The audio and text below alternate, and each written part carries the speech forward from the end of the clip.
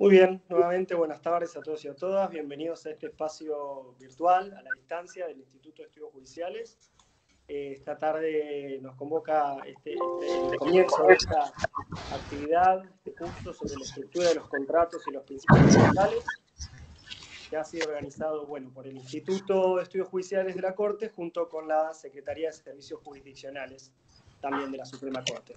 Justamente, bueno, para dar comienzo, vamos a escuchar primeramente al doctor Matías Rodríguez, que pertenece a la Secretaría de Servicios Jurisdiccionales de la Corte.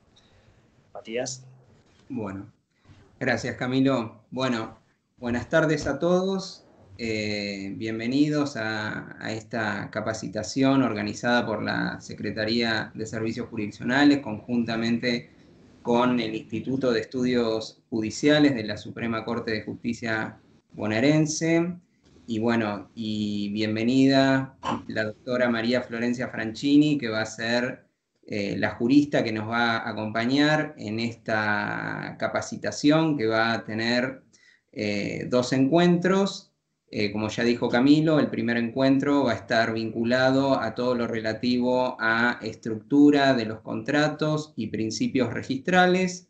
En el próximo encuentro eh, vamos a tratar todo lo relativo con, Florencia eh, en, en, lo que son los contratos eh, perdón, los boletos de compraventa y sesiones de derechos, y después la próxima actividad de capacitación, que va a ser el, 6 de septiembre, todo lo relativo a eh, contratos eh, de locaciones y particularmente la, injerencia de la nueva ley de, de contratos de alquileres.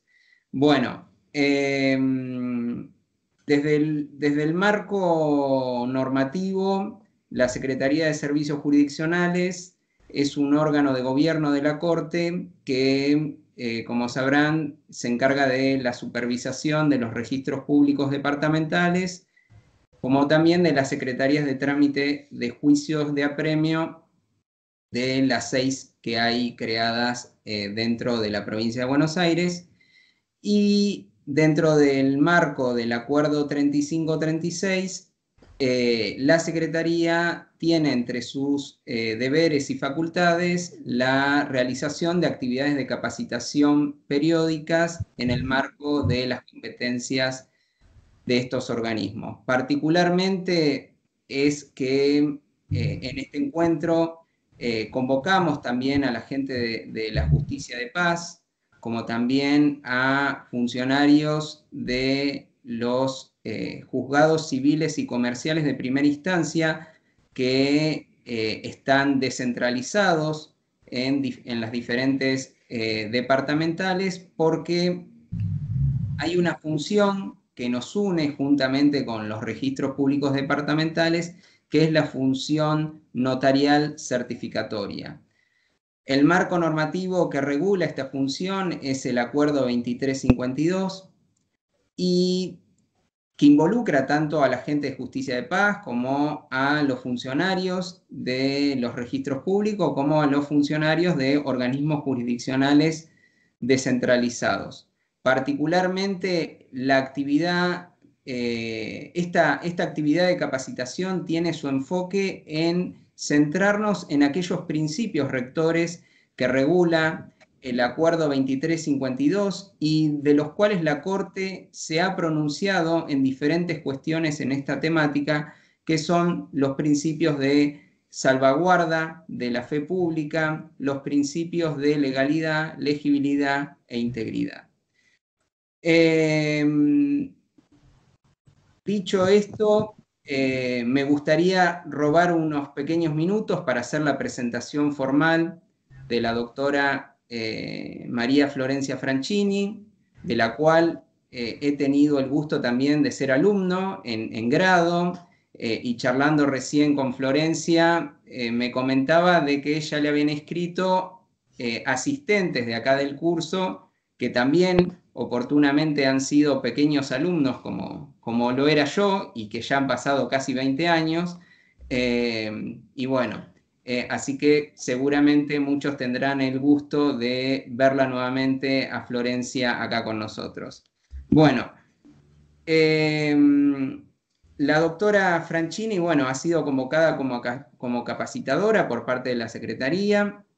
La doctora Franchini es eh, docente eh, de grado y posgrado eh, en la Universidad Nacional de La Plata, especializada en contratos, derechos reales y derecho registral.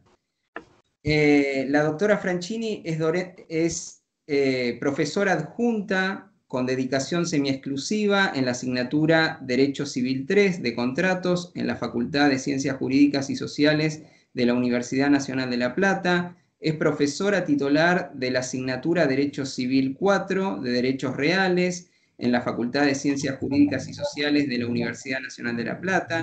Es profesora titular de la asignatura Derecho de los Contratos en la UNOVA, Universidad Nacional del Noroeste de la Provincia de Buenos Aires Asimismo, participa y ha participado en diferentes cargos de gestión administrativa, como jurado o miembro de diferentes proyectos y comisiones de extensión universitaria en la Universidad Nacional de La Plata.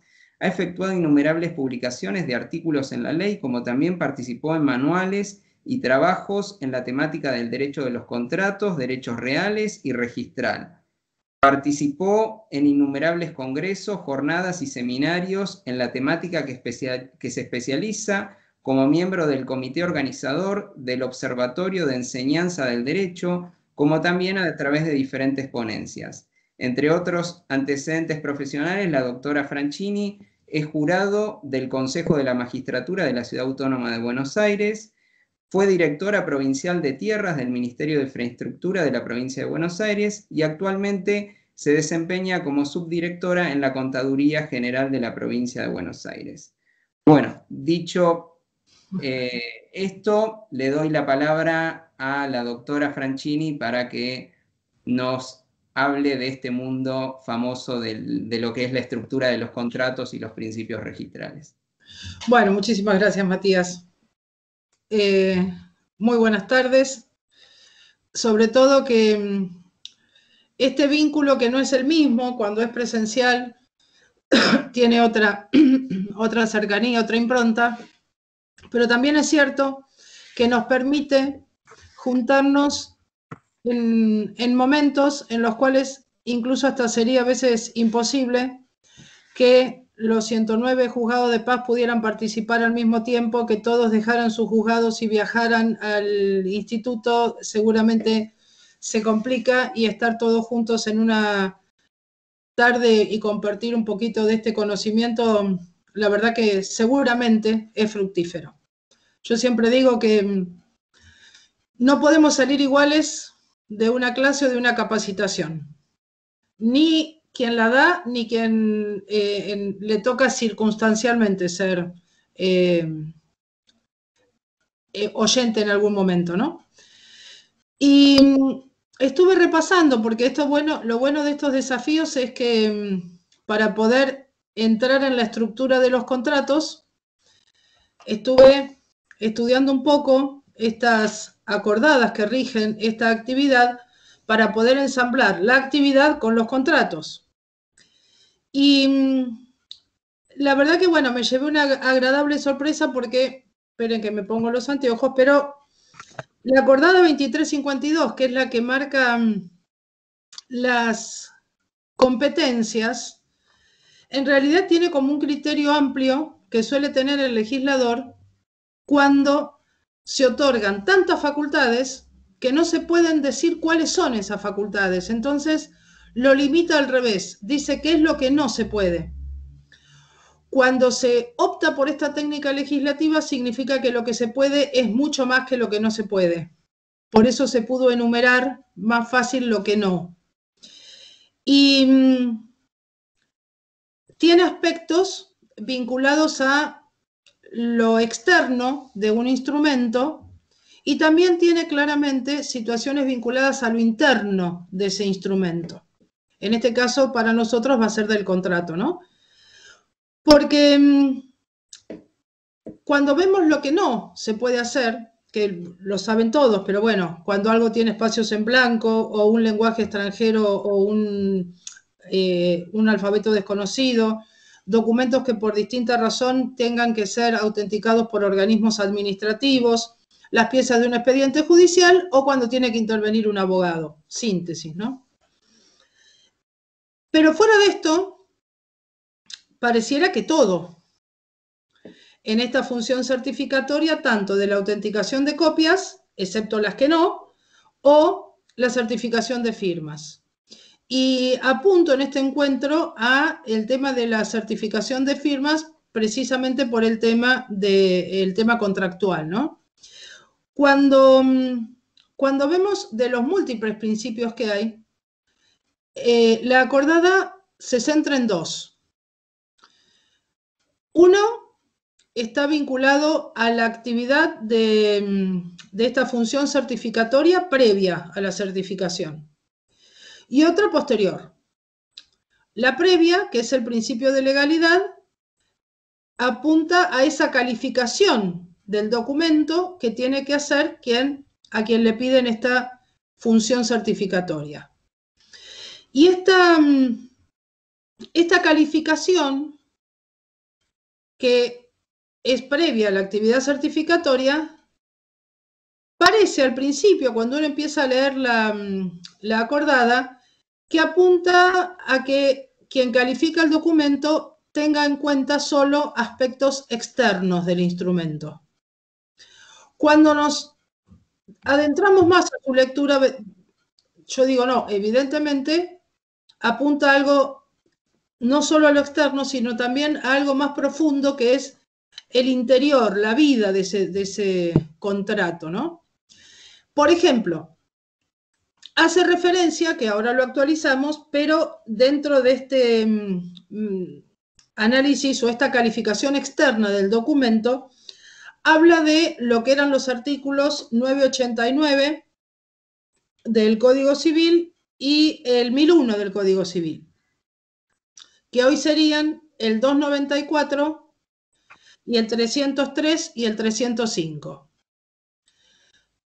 Y son aspectos creo que a lo que más se refiere, porque como los, actuales del código son más amplios, del código civil y comercial, pero en aquel momento, cuando se referían especialmente al código de Vélez, em, hablaba a las enmiendas, a las tachaduras, a los espacios en blanco, donde el observador, cuando lo advierte, entonces no puede certificar un contrato que tenga espacios en blanco. He visto hasta escrituras inscritas en el registro de la propiedad con espacios en blanco. O sea, puede ocurrir y puede ocurrir. Eh, ¿Es lo ideal? Claro que no. En, esa, en ese aspecto externo, cuando habla de qué características tiene que tener, me parece que es más, creo yo, el instrumento en sí mismo que el contenido de ese instrumento. Esto es em, sus, em, sus interlineados, si no están salvados. Y eso lo advierte el, quien está calificando el instrumento en tal vez en poco tiempo. Con una simple lectura advierte los espacios, o sin siquiera leer, advierte los espacios en blanco o los interlineados. Pero la misma acordada dice que en su aspecto posterior a la calificación, que la certificación no convalida actos nulos. Ese principio de no convalidación, que también lo tiene el registro de la propiedad y todos los registros, apunta a la posibilidad de revisar el documento judicialmente hasta al punto tal de declarar o no su nulidad. Y bueno, ya sabemos todos esta posibilidad de que la nulidad sea absoluto relativa. Y ahí nos, en, este camino de la, mm, la actividad de la calificación registral, advertimos que no solamente entonces eh, quien califica este documento, este contrato en nuestro caso, para poder certificar las firmas, va a mirar solo este aspecto externo. Porque el principio de legalidad va más allá de los aspectos externos y además porque la misma acordada dice que se debe tomar un tiempo, se puede tomar un tiempo necesario.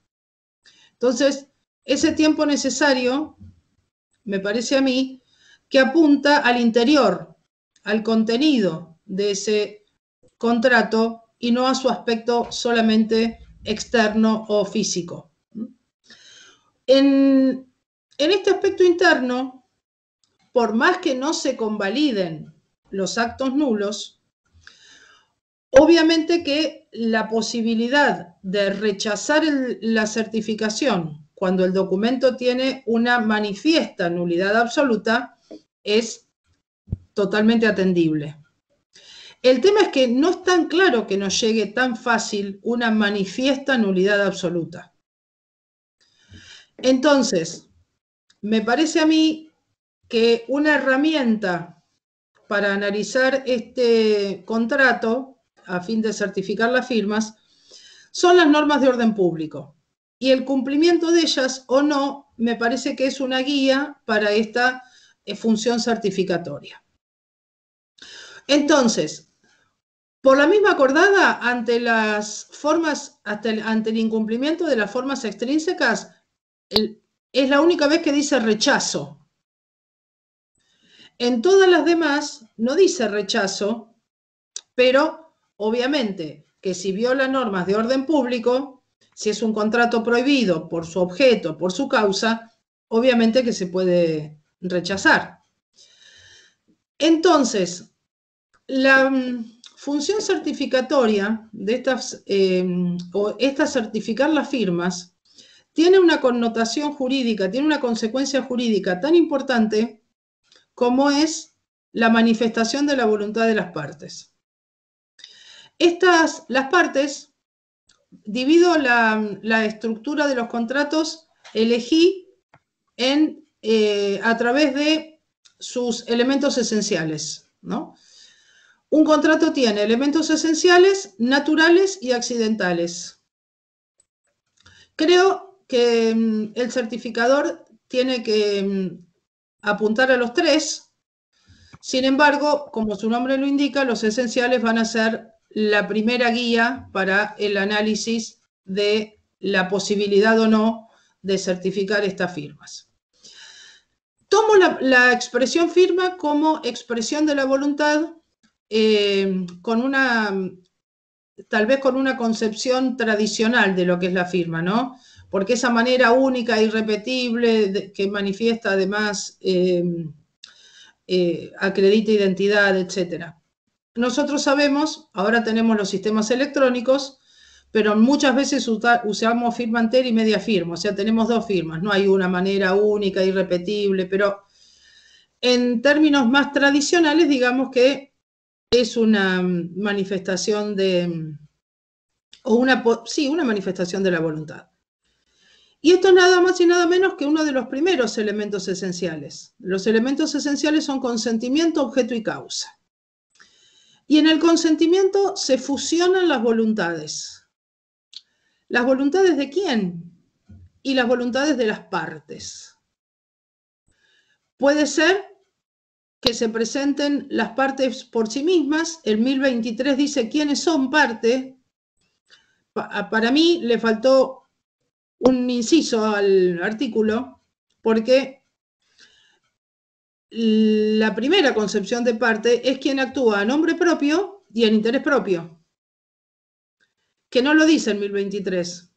El 1023 empieza por las otras posibilidades que no son esas y que son el que actúa en nombre propio pero en interés ajeno o el representado que en ese acto eh, está, actuando a través de un representante, que ese representante actúa en nombre ajeno y en interés ajeno. Entonces, esas partes, ya sea representadas o no, temón, el tema de los poderes, van a poder actuar, van a poder fusionar sus dos voluntades a través de estos dos elementos que son la oferta y la aceptación. Cuando tenemos enfrente nuestro este contrato que eh, este documento que todavía no es contrato, donde prestan su consentimiento y lo fusionan a través de, esta, mm, de las firmas de ambas partes, encontramos la el primer elemento esencial que es el acuerdo. Este acuerdo, para que sea válido, tiene presupuestos de validez. Y los presupuestos de validez del consentimiento son la capacidad y la forma. Por lo tanto, con un principio general con respecto a capacidad, donde todos somos capaces, la excepción va a ser la incapacidad o la capacidad restringida. Y en ese supuesto, dentro de los distintos tipos de representación que hay, el incapaz, ya sea por edad, ya sea eh, por mm, una declaración de incapacidad, va a actuar a través de sus representantes legales. ¿Podemos obviarlo esto en la función certificatoria? No. Entonces, si tenemos una persona declarada incapaz, puede ser que no lo sepamos. Entonces, ese contrato que no va a ser válido, eh, va a tener que ser declarado nulo después. No afecta la función del, del calificador del documento. Esta capacidad entonces, ante la ausencia, nos abre paso a la representación legal. Y también tenemos la otra representación, que es la voluntaria y también la orgánica. La voluntaria la posibilidad de que actúe. El, aquel que puede actuar por sí lo puede hacer a través de un representante. Y solo puede realizar a través de un representante los actos que puede realizar por sí. No puede usar interpósita persona para realizar un acto que por sí no puede realizar. Y la otra representación, que es la orgánica, es la de las, los estatutos de las personas jurídicas, donde seguramente también en la función certificatoria se han presentado eh, personas, no solamente personas humanas, sino también personas jurídicas. Ese marco de ese presupuesto de validez del consentimiento a través de la capacidad nos marca un primer rumbo para analizar dentro de la estructura del contrato la eh, Mm, la posibilidad de que se pueda o no celebrar ese contrato. Y el otro presupuesto de validez, les decía que es la forma. La forma, que es la manera de expresar la voluntad, mejora este código, em, eh, el concepto que daba Vélez, porque si bien si nos metíamos en el código de Vélez y entendíamos que era la manifestación de voluntad, inicialmente se la, conceptualizaba como las solemnidades que se deben cumplir al momento de celebrar un contrato. Y en realidad esa solemnidad era para saber si se había manifestado una voluntad válida o no. No era la solemnidad en sí misma. Entonces este código mejora ese aspecto y dice que la forma es la em, la manera de manifestar la voluntad o es la manifestación de voluntad. Esos actos, para que no queden en el fuero íntimo y puedan ser conocidos, la manifestación de voluntad puede ser verbalmente, por escrito, por actos inequívocos. En el caso de los contratos, rige la libertad de formas. Por lo tanto, también pueden serse verbalmente, por escrito, por escritura pública. En nuestra reunión de hoy y teniendo en cuenta nuestros asistentes, obviamente vamos a tener quien eligió hacerlo por escrito. ¿Todos los actos, todos los contratos tienen libertad de formas? No. Eso se llaman no formales. Que no es que no tienen forma, sino que no tienen una forma prevista por la ley. Guarda con esto que puede ser que el contrato quede sin posibilidad de ser probado. Y el otro supuesto, en los contratos formales, que es cuando la norma sí nos indica la libertad de formas, está en el 1015, pero el 1017 nos dice los que deben ser hechos por escritura pública. Y acá hago una pequeña distinción, porque de los que deben ser hechos por escritura pública tenemos dos supuestos.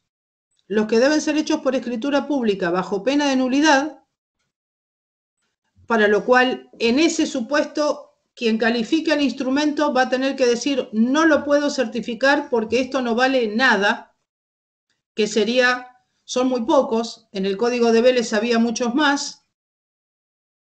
La 17711 morigeró esta exigencia para casi todos y siempre quedó desde la 17711 eh, de 1968 y que queda en este Código Civil y Comercial, la donación de inmuebles incorpora este código la donación de muebles registrables y la donación de prestaciones periódicas o vitalicias. Entonces, y ahí sí dice bajo pena de nulidad, por lo tanto el instrumento privado no tiene consecuencias jurídicas. Ese es el supuesto en el que la forma es un presupuesto de validez del consentimiento cuando la forma es esencial. Esto es, cuando no cumplirla acarrea nulidad. En el supuesto que el contrato con estas características esté hecho en instrumento privado, no tiene la consecuencia del 1018, que es la obligación de las partes de escriturar. Esta obligación de hacer que se tiene cuando se celebró un documento que debió celebrarse, un contrato que debió celebrarse por escritura pública, se celebra por instrumento privado y se entiende que las partes se obligaron con una obligación de hacer, y esto es de elevar el acto a escritura pública, lo que abre las puertas al juicio de escrituración. cuando esto ocurre, es decir, cuando no tiene sanción de nulidad, este documento, este contrato, vale no como el contrato que debe ser celebrado por escritura pública, sino como un contrato en el cual se obligan a celebrar la escritura pública. ¿Es un contrato? Sí. ¿Es el contrato de compraventa, el boleto de compraventa? No. Lo que pasa es que como la compraventa por el 1017 inciso A debe ser hecha por escritura pública, pero no bajo pena de nulidad, entonces, el instrumento privado tiene una, em, tiene una presencia, tiene una, una posibilidad de generar consecuencias jurídicas que no lo tienen aquellos contratos que deben ser hechos por escritura pública bajo pena de nulidad. Entonces, el boleto de compraventa no vale como contrato de compraventa, pero sí vale como otro. Y después, el viernes, cuando charlemos sobre este em, contrato de compraventa, vamos a ver eh, el boleto, vamos a ver las dificultades que evidentemente tuvo el legislador porque no supo dónde ponerlo. Tiene también una historia de por qué no saber dónde ponerlo. Porque en definitiva, el artículo 1018 dice que todos los contratos que deben ser hechos por escritura pública y estuvieran hechos por instrumento privado valen como un contrato en el cual se obligan a escriturar, no solamente la compraventa. Entonces, todos los contratos, no solamente la compraventa, hechos en instrumento privado, son promesas de el contrato futuro. Podría ser cualquier contrato de los que el 1017 dice que deben ser hechos por escritura pública. Es decir, que esta obligación de escriturar no es nada más que para el boleto. Y con respecto a la forma, un temita más, que es que las partes pueden elegir, no pueden elegir una forma inferior a la que establece el código, pero sí una superior. Entonces podrían hacer un contrato de alquiler por escritura pública, si quieren. Pero, ¿qué detalle tenemos que tener en cuenta cuando vamos a certificar un documento de estos? Una firma de estos tipos de documentos.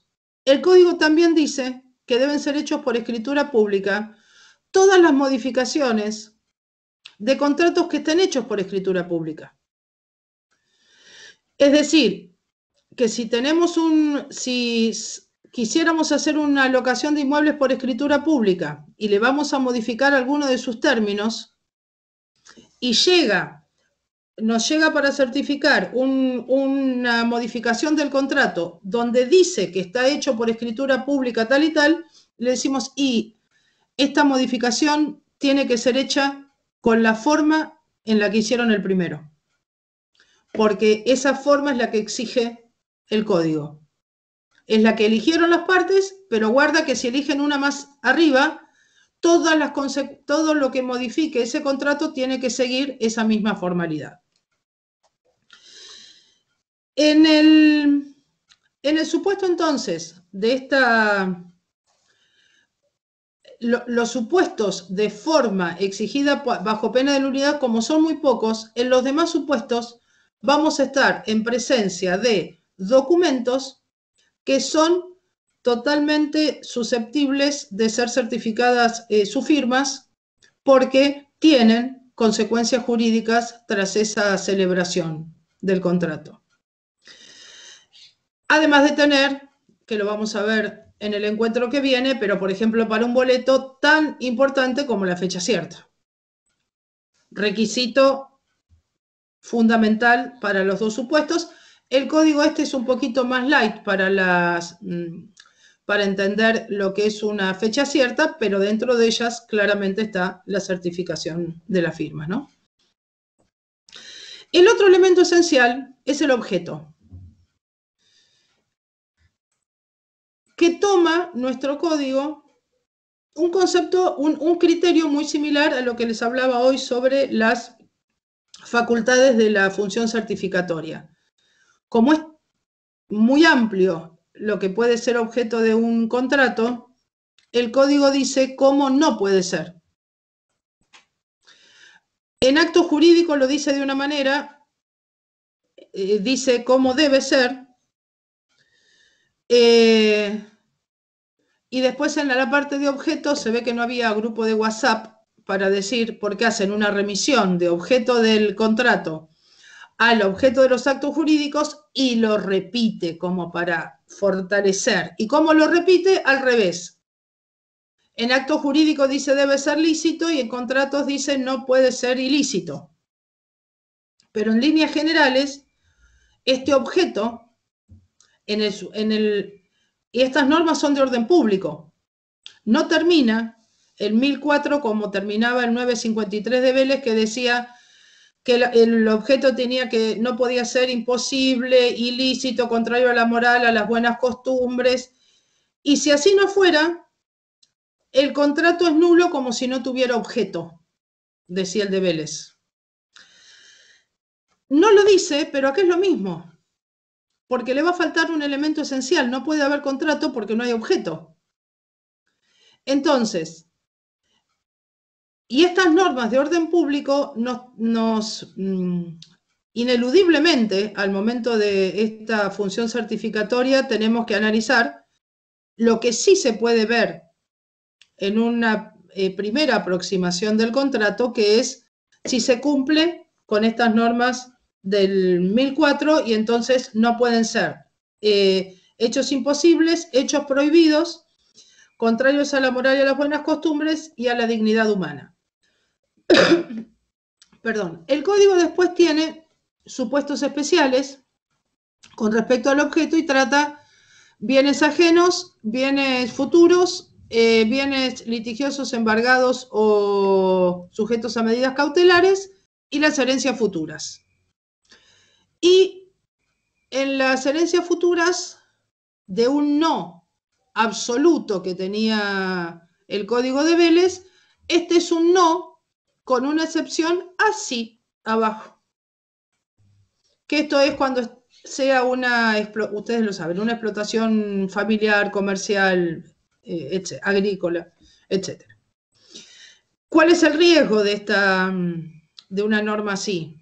Y la posibilidad de integrar, la posibilidad de aplicar la analogía, y entonces esta sí, y esta también, y esta también, y el principio rector de que las herencias futuras no pueden ser objeto de los contratos queda absolutamente desdibujado. En, en el caso de no puede ser ilícito, que es lo que por ahí, o contrario a la moral y a las buenas costumbres, que es lo que el calificador del documento puede tener a la vista para analizar.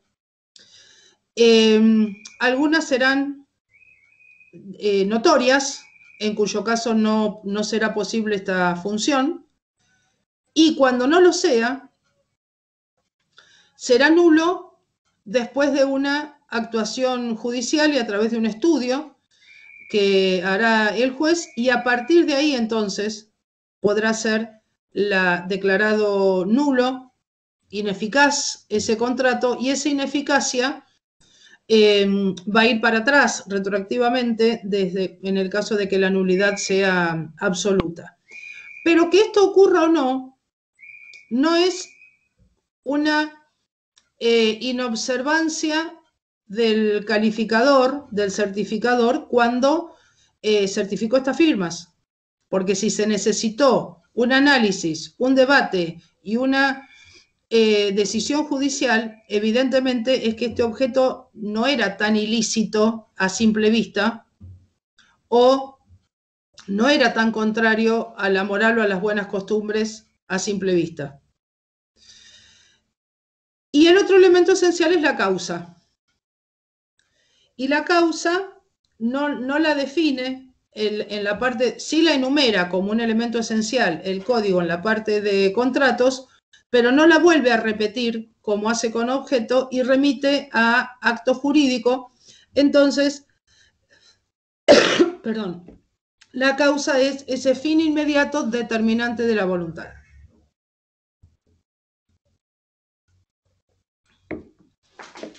Nosotros sabemos que distinguir entre objeto y causa no ha sido fácil. De hecho, me tocó colaborar eh, en la actualización de la obra de Spota, que la actualizamos una sola vez, ahora se desactualizó porque la actualizamos al Código Civil de, vigente hasta el 2015. Después no la volvimos a actualizar con este código porque ya había que hacerle decir a Spota lo que nunca dijo porque no estaba legislado. Entonces ya no se puede manipular tanto la, voluntad del maestro. Pero bueno, cuando me toca objeto, eh, es tanto lo que habla Spota en su obra, es tanto. De hecho, él trata temas anteriores a la 17711 que no existían en el código y después existían en el, en el, a partir de, la, de 1968. Es decir, que muchas veces, por eso Molinario decía que la reforma es la reforma, se tendría que llamar la reforma espota, pues parece que Borda usó todo espota para hacer la 17711. Si tenemos un auditorio muy joven, por ahí les estamos hablando del código de Amurabi porque a veces me pasa con, mis alumnos que hablarle del código de Vélez es como hablarle del código de Murabi, la ley del talión, ¿sí? Em, hecho, me tocó dar en el primer cuatrimestre que estaba sancionado el Código Civil y Comercial, pero todavía no estaba vigente, los chicos sin problema decían el código derogado, el, ya no tenían una visión hacia adelante, ¿no? Pero, ¿por qué les digo esto? Porque cuando mm, analizamos objeto, Spota tenía una visión muy particular, donde decía que el objeto era toda esta mm, relación eh, jurídica determinante del contrato, pero que como tenía una finalidad, perseguía una finalidad para cumplir ese objetivo, entonces lo llamaba objeto fin, y ahí no distinguía objeto de causa. Y si uno busca fallos, muchísimos, muchísimos fallos, dicen que un acto es nulo por determinada nulidad de su objeto fin. Entonces no podemos distinguir en ese análisis si lo declararon nulo por el objeto o por la causa. Es, difícil encontrar eh, fallos sobre puntualmente nulidad de causa. Em, de cualquier manera, hay unas posturas en las cuales se dice, por ejemplo, que la primera finalidad que siguen las partes se detecta fácilmente que es que quieren aquella finalidad que persigue el acto jurídico que están celebrando. Entonces, si celebran un boleto de compraventa o una compraventa, persiguen la transmisión de la propiedad y si celebran un contrato de locación, persiguen la, el uso y goce temporario de una cosa sin recibir la propiedad. Pero claro, si nos guiamos solamente por la causa como esta finalidad propia del acto jurídico que vamos a celebrar, no habría actos nulos a causa, a causa de la causa. ¿Por qué? Porque si la finalidad va a ser la propia del acto jurídico, el acto jurídico en sí mismo no tiene patologías, porque lo dictó precisamente el legislador sin patologías. Entonces, esta causa objetiva que es la primera que detectamos al analizar el documento, eh, no, mm, e, es muy difícil que vayamos a encontrar ahí una causa ilícita. ¿En cuál lo vamos a poder encontrar? En la subjetiva. En este fin determinante que tuvieron las partes eh, o ese fin inmediato que fue determinante de la voluntad de las partes. Entonces, Resumimos los elementos esenciales. Em, consentimiento, objeto y causa. En consentimiento, esta fusión de las voluntades que nos permiten hacer nacer el contrato. Esas partes que son, no son solamente las que concurren al acto, sino que pueden concurrir a través de otro. Y ese, esa concurrencia a través de otro no, los, em, no les invalida que las consecuencias jurídicas sean para el representado y no para el representante.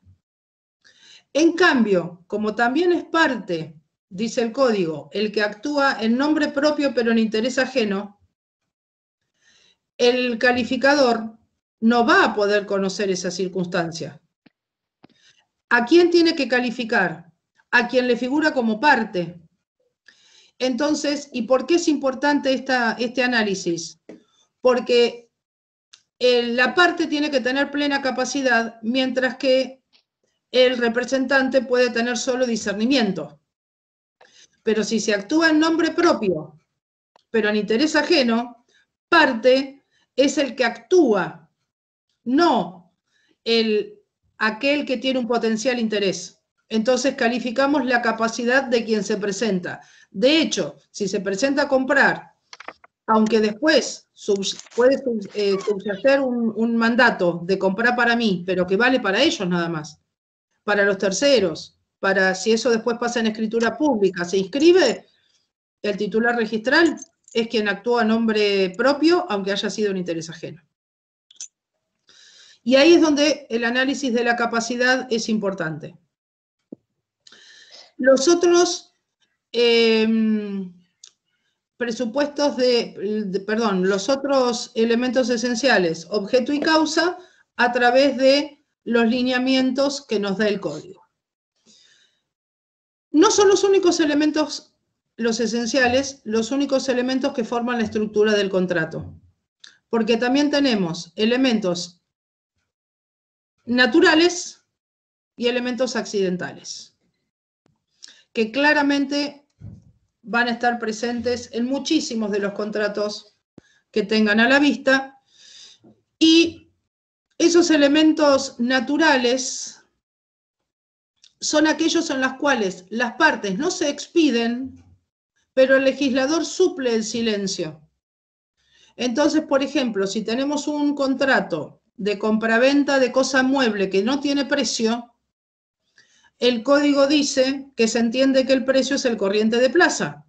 Bueno, precio corriente de plaza decía el de Vélez, ahora dice algo muy parecido, pero pongámosle el precio del mercado. Entonces, ¿es nulo un contrato de compraventa de cosa mueble que no tenga precio? No. a pesar de que es un requisito. además de tener estos elementos, tiene requisitos que son cosa y precio. Mm, esos silencios que puede cubrir el legislador, aunque no estén presentes entonces en el contrato, no lo invalidan y por lo tanto quien califica el documento no lo puede rechazar. No es necesario que en un contrato de compraventa digan que se obligan con la obligación de saneamiento, porque la obligación de saneamiento es un elemento natural. De la única manera que va a aparecer expreso va a ser si aumentan la mm, responsabilidad por saneamiento o la disminuyen.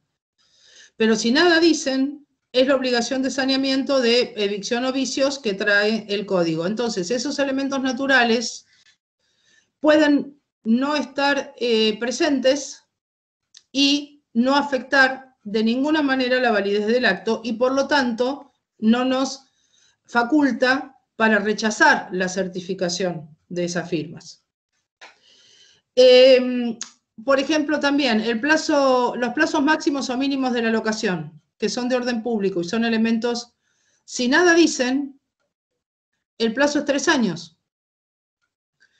Es más, y si dijera cinco, igual lo, eh, perdón, si dijera dos o uno, igual lo podemos certificar, porque el código dice que si dice uno es tres. Eh, igual con los máximos, ¿no? Entonces, eh, ya lo solucionó el legislador. Sí, de hecho, igual después lo vamos a ver cuando veamos locación, pero bueno, también hay supuestos en los cuales se puede mm, excepcionar del plazo mínimo y hay algunos que son una muy buena herramienta para excepcionarnos del plazo mínimo. Y donde tenemos que volver a prestar atención es en los elementos accidentales.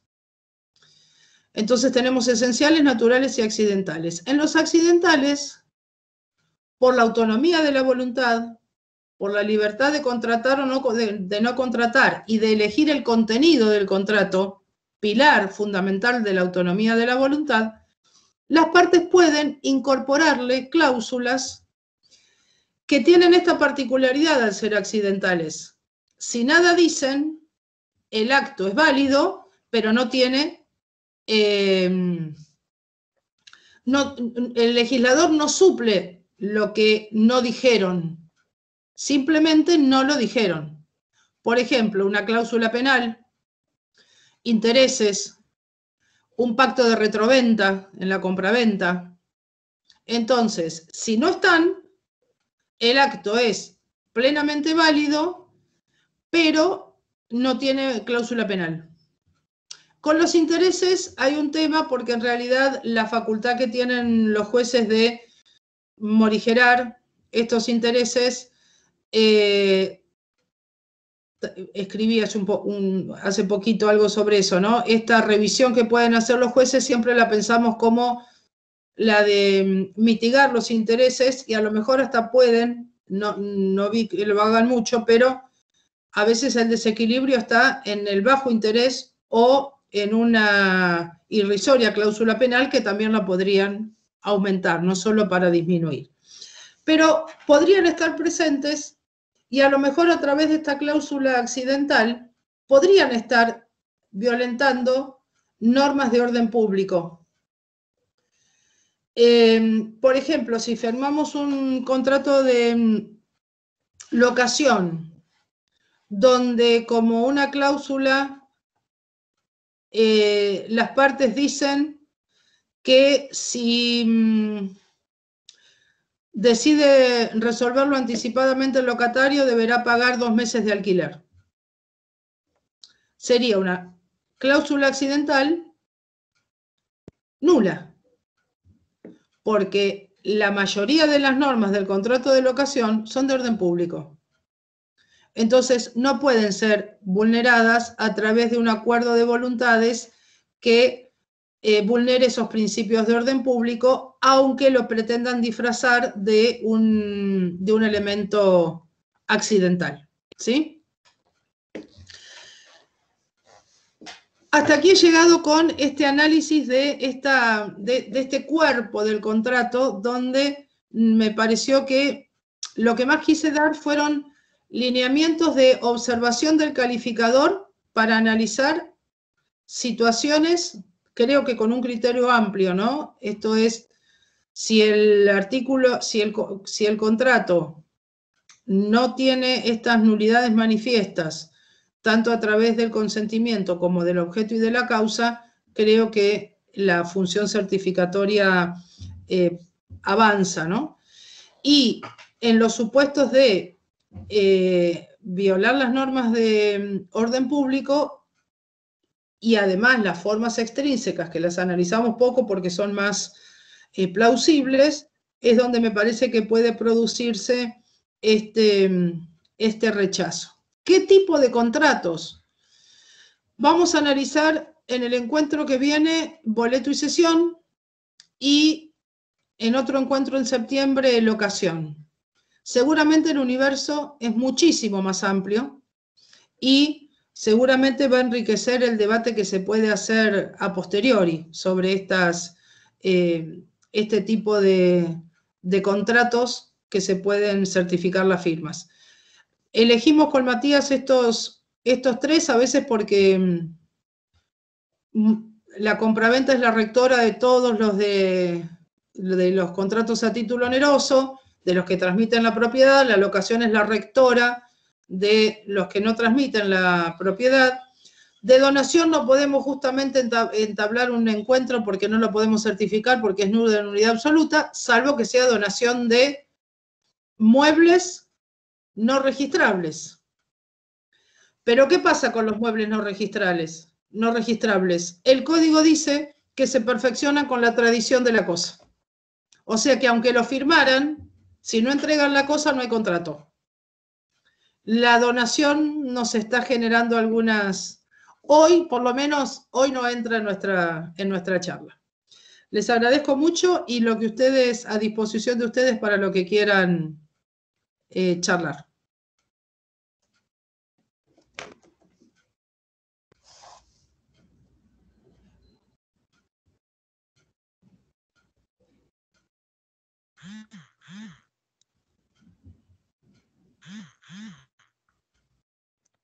Invitamos a todos los asistentes que quieran eh, hacer alguna pregunta, eh, desde ya que están invitados eh, así aprovechamos a la doctora Franchini a que nos comente un poco de, lo que, de las dudas que tengamos.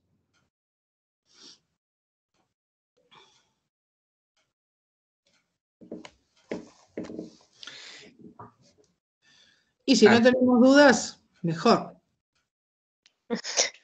Bien, acá estoy viendo Guillermo Valverde plantea una cuestión que, bueno, si vienes de otro encuentro, sí tiene que ver con lo que mencionaste vos, Florencia, que dice, si el alquiler es mayor a tres años,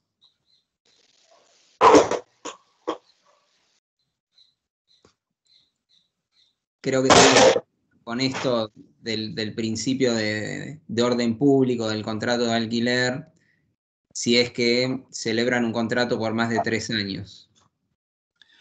Claro, en los tres años es el plazo mínimo. Eh, por lo tanto, lo pueden hacer por 4, 5, 10, 15. No pueden pasarse de 20 o de 50. Pero puede llegar un contrato de 5 años perfectamente. No podría llegar uno de 2. Eh, pero bueno, me adelanto un poquitito a lo que mm, vamos a charlar en, septiembre, pero el código trae supuestos en los cuales puede ser menos de 3 y además de, los que vamos a analizar de sede de embajadas, predios feriales, etcétera, hay uno que tiene escondidito ahí que es muy interesante, y lo digo incluso como colegas, ¿no? Porque si el locatario ya está en tenencia de la cosa, puede elegir un plazo menor a los tres años. Y este ¿En qué circunstancias un tenedor podría estar, un locatario podría ya estar en tenencia de la cosa? Porque viene de un contrato anterior. Entonces puede elegir que no sea de tres años. Eso encima, como el artículo tiene incisos, y este es un último que no tiene incisos, es un final que va como, como que derrapó ahí, pero la verdad que es una muy buena herramienta esa, sobre todo si no queremos alquilar por otros tres años. Yo no veo el chat, pero bueno, vos me lo oirás. Sí, yo lo voy chequeando, Florencia.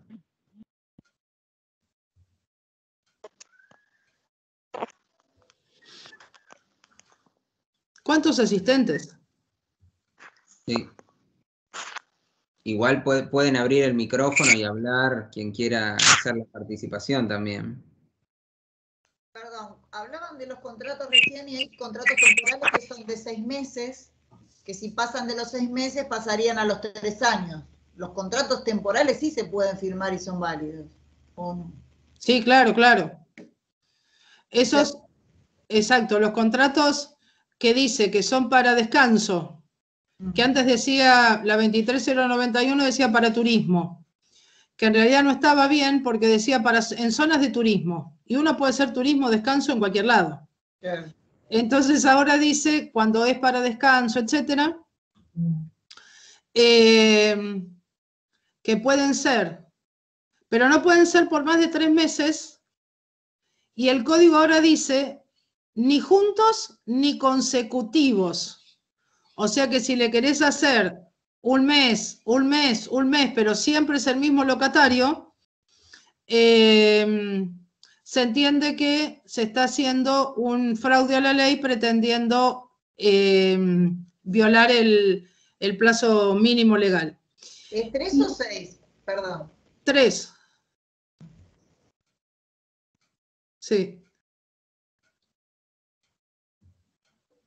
Que la verdad que son una solución y mm, lo que pasa que, bueno, dice amueblados, la característica propia, ¿no? Que ya, que ya conocemos.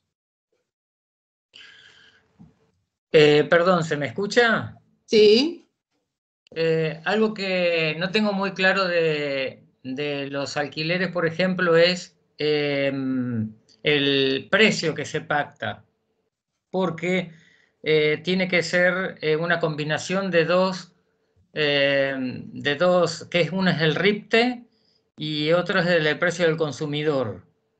¿Qué pasa si no se tiene en cuenta ese tipo de, este, de precios?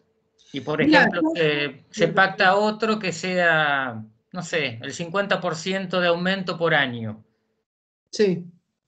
Mira, yo creo porque nosotros los abogados sabemos que hay dos tipos de contratos, que son la mayoría los que nacen, se extinguen por cumplimiento y no se judicializan.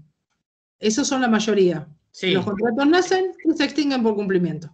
De hecho, también nacen y se extinguen por cumplimiento contratos de alquiler que no están plasmados en instrumento.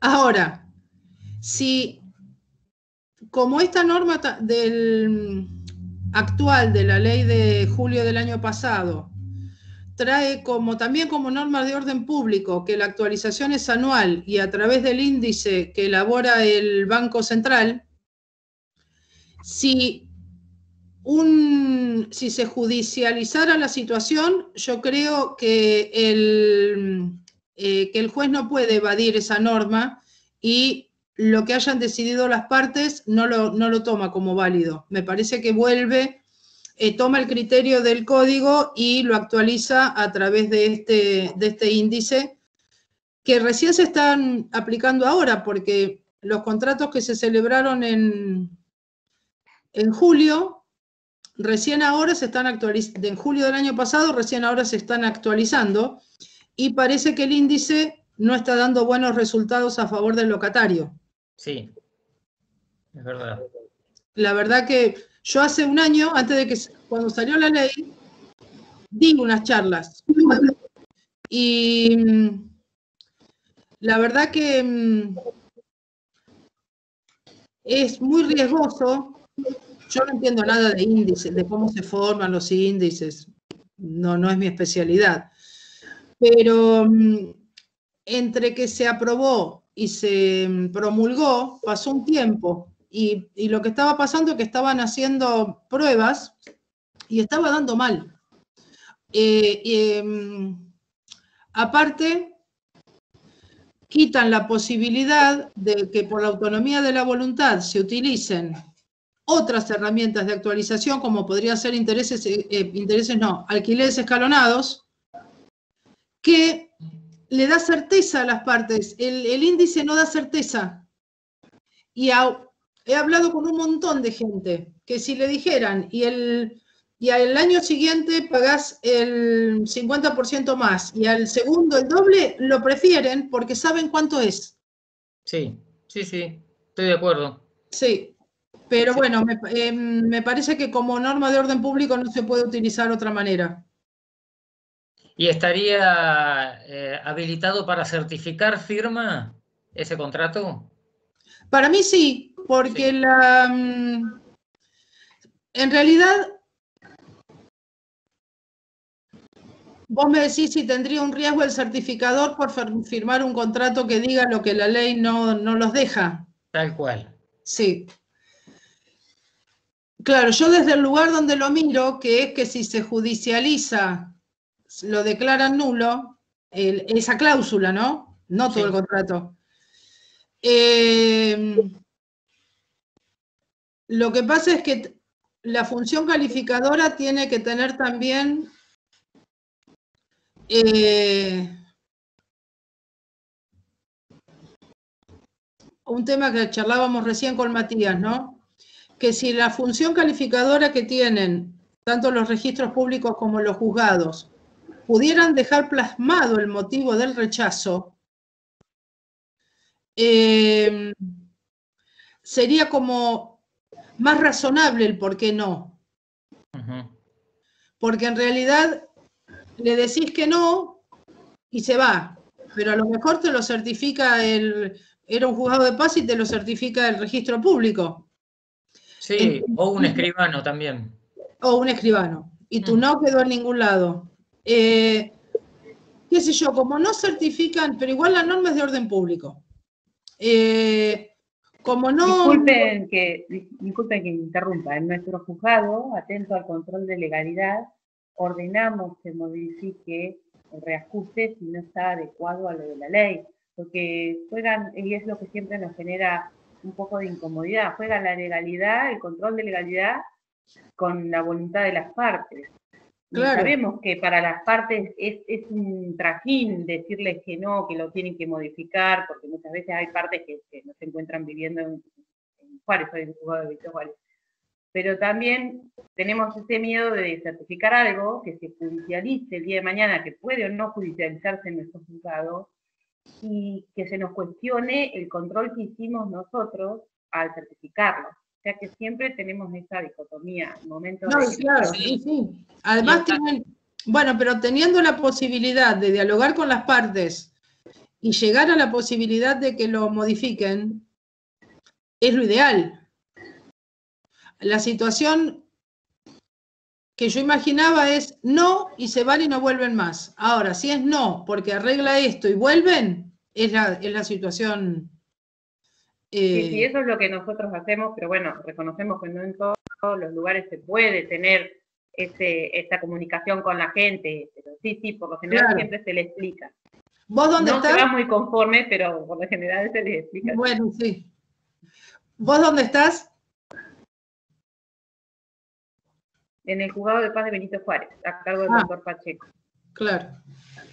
Bueno, a nosotros lo que nos pasa en el juzgado también, soy de secretario de Navarro, es que eh, les puedo decir a la gente mm, que van a, certificar eh, que se les rechaza por ese motivo, pero también ellos me dicen algo que, que es muy lógico y que no saben a qué índices se están ateniendo en el futuro.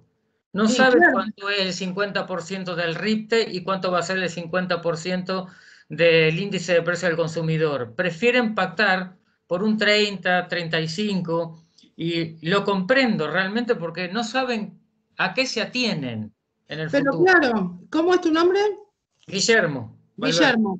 Es que lo que no está bueno es la ley. Claro, sí, sí. Pero. Por, eso, realmente la, dejo pasar a esa, eh, a, ese, control de legalidad a veces yo lo, lo obvio realmente. Y, los dejo que pacten por un 30, un 35 y bueno, saben de qué están hablando. Es que claro, porque mm, la verdad que mm, a mí me extraña esa utilización de índice. Yo de contratos hace muchos años, ¿no?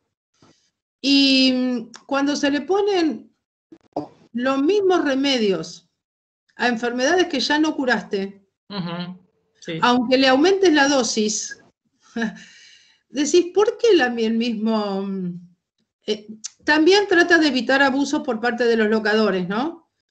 Pero la verdad que llegar a una ley donde mm, la actualización no conforma a ninguno de los dos. A ninguno de los dos. A ninguno de los dos. Hay que ser creativo para no conformar a ninguno de los dos, ¿eh? Sí, en Argentina. Exactamente, sí, sí. Yo quería hacer con respecto a este tema una analogía, por ahí se puede desmenuzar algo. En el año 92, cuando vino la moneda de curso legal, que era peso dólares, la ley específica de los contratos decía y era expreso que la, la, moneda del contrato de locación, por ser ley específica, tenía que ser pesos. Cuando vino la época de la bimonetarización, si bien fue una ley de carácter general, la ley de especial tenía un peso fuerte, que es lo que pasa con el contrato de locación. Entonces, con el devenir del tiempo, aquellos contratos que estaban hechos en moneda extranjera, ¿sí? tenían la misma validez que aquel contrato que estaba hecho en moneda nacional. Pero si yo me ajusto a la ley, la ley anterior decía que el contrato debía ser hecho en moneda de pesos, que era la moneda este, que figuraba en la ley. Yo creo que que con esto del índice que hay ahora respecto al contrato y la vocación, lo que las partes convienen, se podría llegar a hacer una analogía de lo que era el contrato, lo que era, lo que era la ley vieja, que específicamente decía que tenía que ser pesos, con la venida del cambio de la monita, del cambio de la moneda, que era de curso legal, era peso dólar. Porque después los contratos, la mayoría se hacían en dólares. Y yo podía tener un, eje rector y decir, no, no, mira, la ley es específica, deberías haberlo hecho en pesos. Y sin embargo, los juzgados fallaban de acuerdo al valor dólar que se tomaba. Nunca claro. se casó un contrato de dólar. Entonces, esta variable podía jugar la misma analogía que jugó el dólar con el, con, el tema de la bimonetarización. Digo, es una, una con el correr del tiempo. Yo me acuerdo que mm, lo que pasa que la ley que decía que debían ser moneda de curso legal era anterior a la ley de convertibilidad que habilitó, claro. Entonces, para mí, esa modificación del código había modificado esa parte de la ley que decía, de, alquileres, que decía que debía ser en moneda de curso legal. Eh, y con este código, hay opiniones encontradas, ¿no? Pero yo creo que sigue siendo posible la contratación en moneda extranjera. Yo también eh, entiendo que especifica eso ahora. Sí, sí. Más se lo entiende como una obligación de dar cantidad de cosas. Bueno, pero claro, pero mirá lo que pasó ahí. Bueno, si tienen tiempo, lo charlamos, pero yo porque me entusiasmo, pero cuando mm, el código de Vélez decía que deberían ser hechas en moneda de curso legal y que las de moneda extranjera se entendían que eran dar cantidad de cosas, eh, Vías llegó a decir que entonces la compraventa en moneda extranjera era permuta, porque cambiabas cosa por cosa, ¿no? Jean Vías. Pero cuando se modifica, con la ley de convertibilidad, que se permite la utilización de, moneda extranjera, así había quedado cuando el Código Civil y Comercial entra al Congreso para ser aprobado.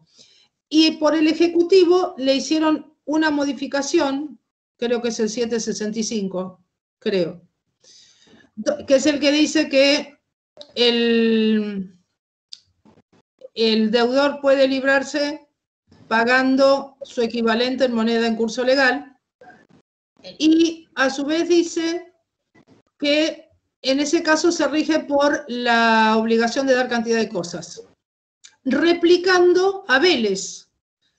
Pero ¿cómo lo replica?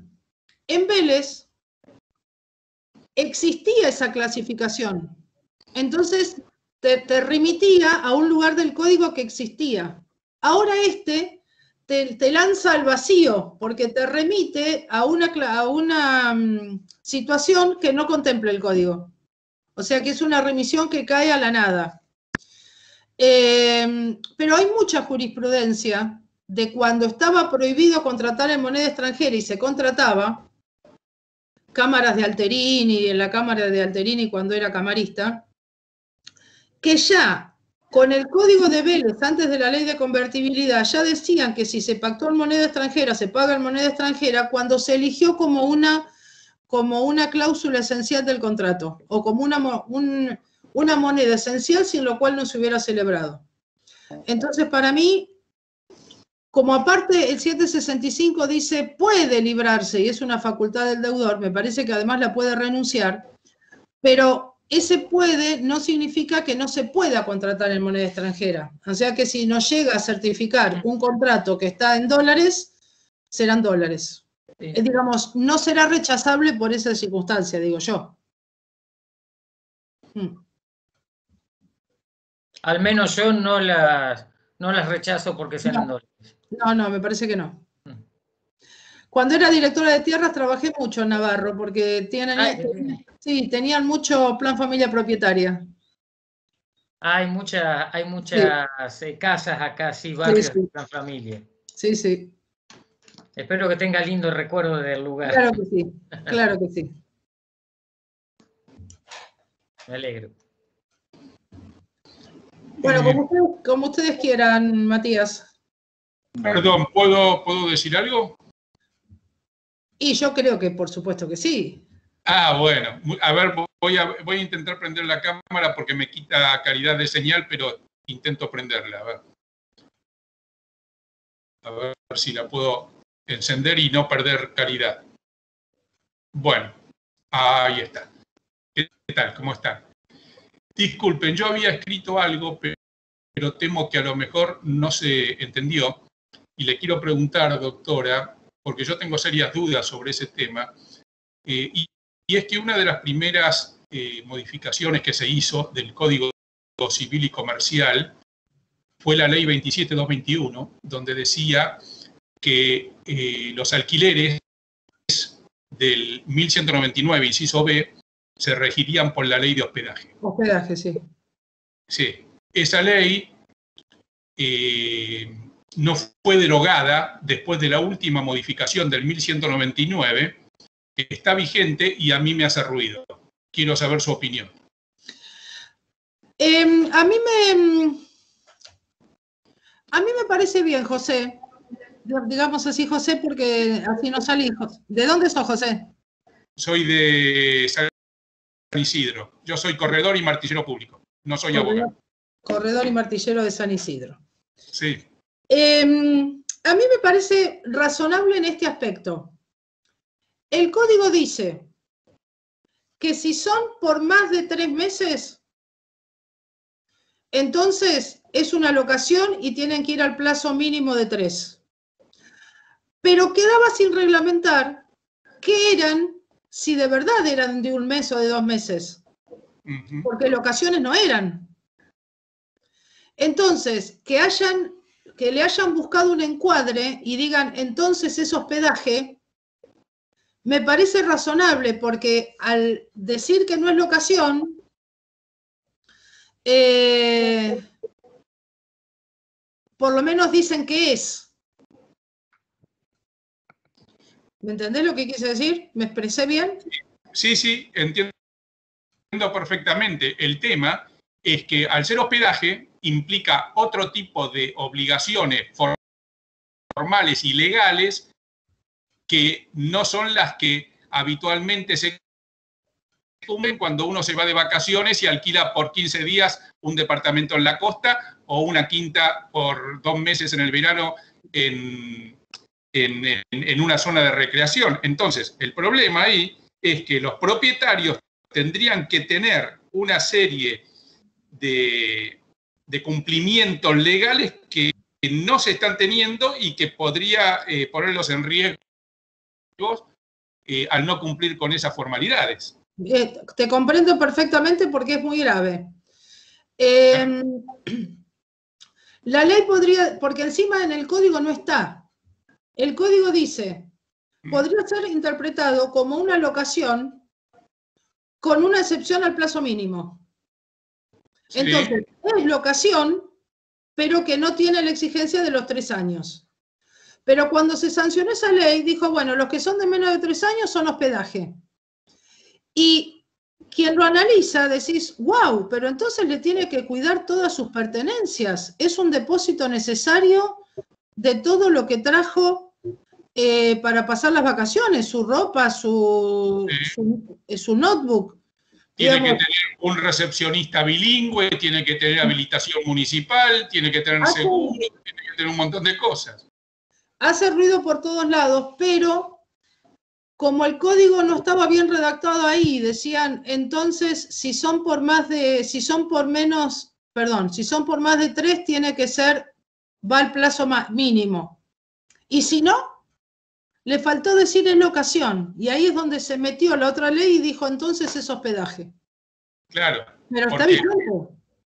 Está vigente esa ley y, Claro. cuando se, y con la 27551 no se deroga esa ley, se cambia muy poquitito el 1199 inciso B, pero esa ley no se deroga. Entonces, la realidad es que eh, nadie estaría cumpliendo cuando hacen un alquiler temporario con fines turísticos, nadie estaría cumpliendo con la legalidad. Sí. Tendríamos que buscar un caso y declararla inconstitucional, por ejemplo. Eh, eh, bueno, como, como, como no hubo jurisprudencia o yo no la Nada. conozco, Nada. bueno, pero, pero, pero el problema es que si de repente viene, es más, tendrían que tener una caja de seguridad para brindarle al, al inquilino, y si el inquilino viene y dice, me robaron todo y yo tenía 10 mil dólares, ¿quién se hace responsable de eso? Exactamente. es un tema que no se está teniendo en cuenta y que puede traer problemas graves.